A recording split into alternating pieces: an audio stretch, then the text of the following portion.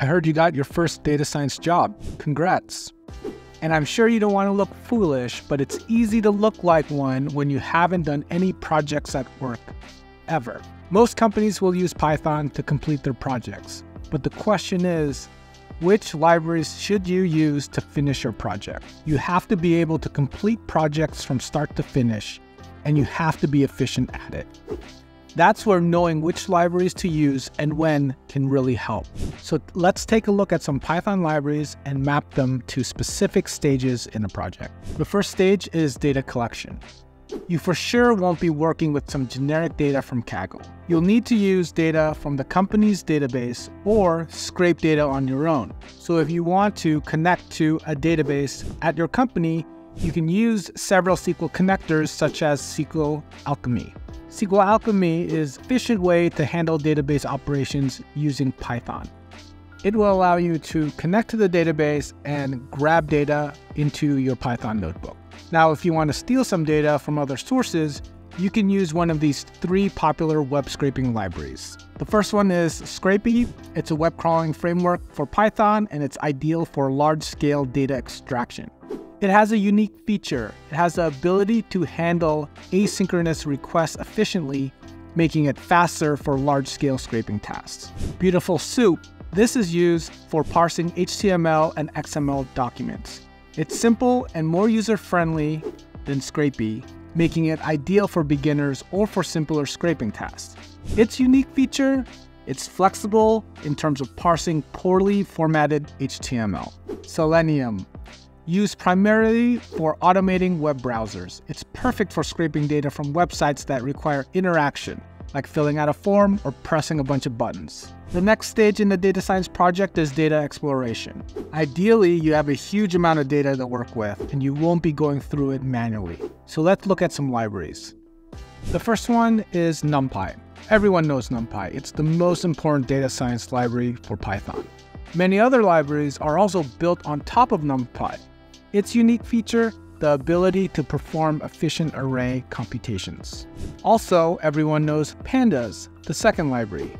It offers easy to use data structures like data frames.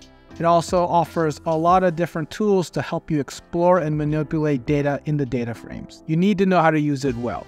Enough said. And lastly, SciPy. It's used for scientific and technical computing. SciPy is more focused on advanced computations, so it offers additional functionalities like optimization, integration, and interpolation. Its unique feature, an extensive collection of submodules for different scientific computing tasks.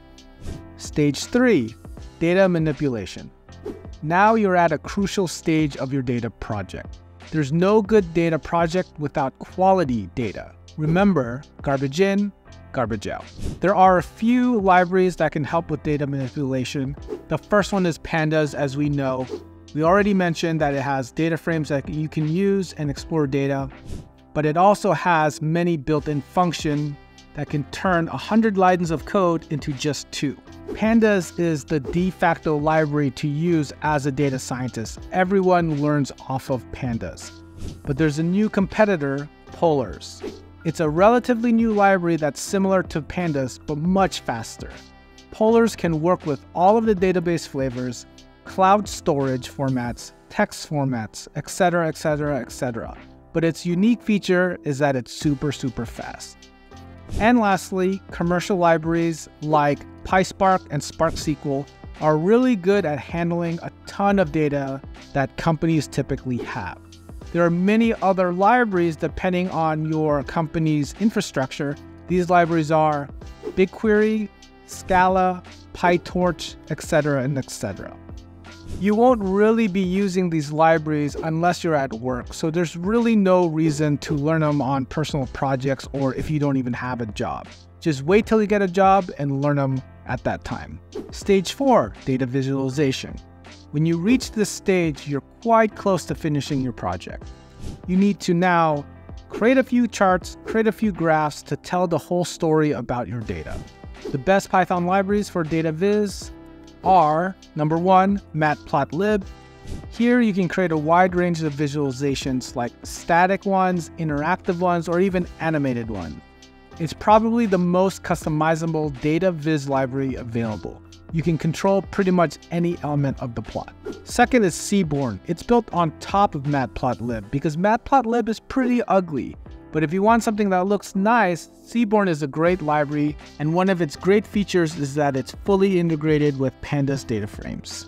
Another library is Plotly. It's the most interactive library of the bunch. You can even use it to create dashboards, integrate your code with Plotly, and see your graphs on the Plotly website. And lastly, Streamlit. This library allows you to create custom web apps for data science and machine learning projects. It's easy to use and allows creating interactive dashboards with minimal coding. It integrates nicely with other Python libraries such as Pandas, NumPy, and Matplotlib.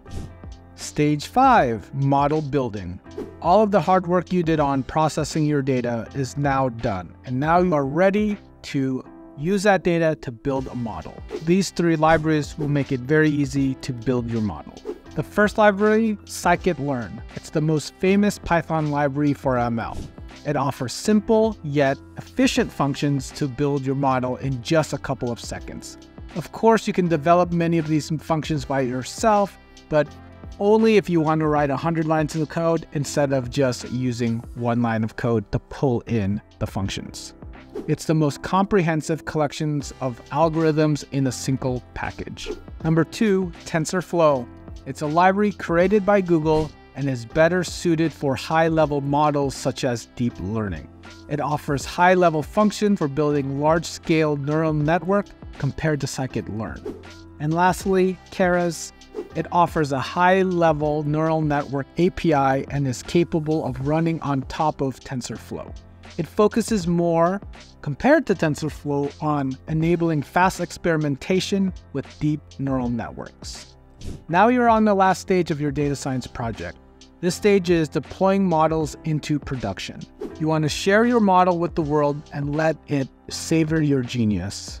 And yes, you can do that, but only if your model becomes more than just a script.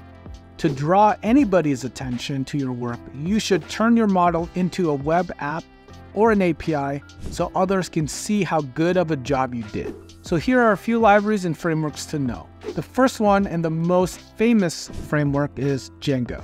It will allow you to take your model, basically your script, and turn it into a web application or an API that you can deploy on the web. It has a lot of cool built-in features like an admin panel and is considered a little bit more complex than other libraries and frameworks out there. One of the more simpler frameworks is a micro framework called Flask. And I would say if you're trying to just develop an API, this is a great lightweight framework to learn. Lastly, we have FastAPI. It's speedy and it's easy to use, and so it's a very popular framework for deploying models into production. Its unique features include automatic generation of documentation and built-in validation using Python type hints. So yes, being a good data scientist means doing a project end to end. It's not an easy task, but it can be done with the help of a lot of Python libraries. So go on, try them at your work. If you like content like this, please subscribe to this channel and go on to stratascratch.com to get data science resources. Thank you.